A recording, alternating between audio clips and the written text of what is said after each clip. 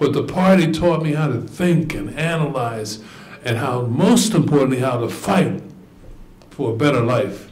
Did you see that article on the front page of the New York Times uh, a couple of weeks ago about this English guy, working class guy, grew up in a very poor area, went to, well, grew up in public housing, very poor, but he did very well in school. He got a scholarship to Cambridge. Scholarship to Cambridge. But he went there and he couldn't afford to find an apartment to live in. He couldn't even carry out his scholarship. But he, and so he, he said, his main point was, I believed in the system. I did. He said, but the system didn't believe in me. And everything that I was struggling against, they didn't solve for me. So I became a socialist.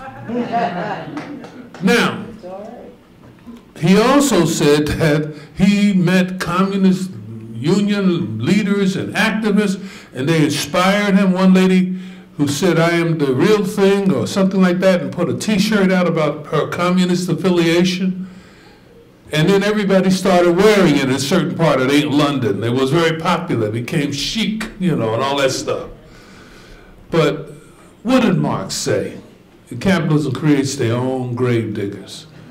And it's those conditions that they have imposed on us.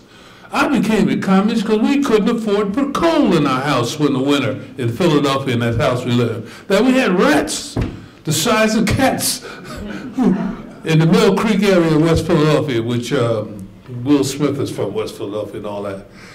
I became a communist because all we had was hard times. That is the most important thing. And this is also why I became to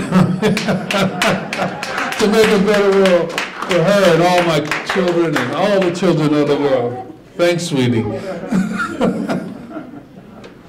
well, James Baldwin said something very profound, many things very profound. It was something that moved me. He said, black people can't afford to be pessimists. What is he saying? It's brilliant.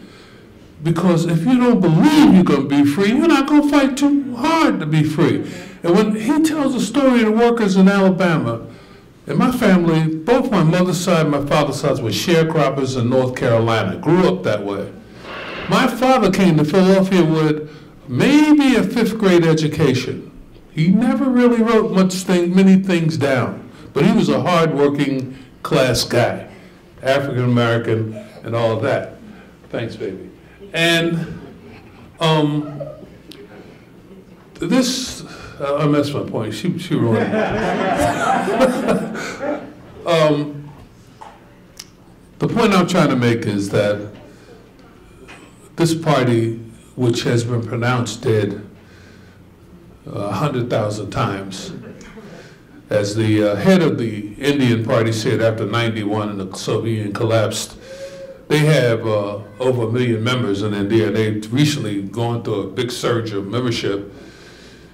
And he said that we have been told that the Communist Party is dead. He said, I just left a meeting of a million communists. That is the liveliest corpse I've ever seen. Why is it possible for 100 years for this party to survive? Why? And, and suffer setbacks. The Whole leadership was sent to jail. The party was basically rendered illegal. Families were attacked and really some of them destroyed. But they kept on fighting.